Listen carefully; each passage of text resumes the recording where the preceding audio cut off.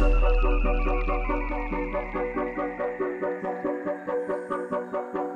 had to uh, leave for a second because this guy Quaz right here got to get actual like food. We brought chips, we brought monsters, we brought water, we brought snacks, but no food food.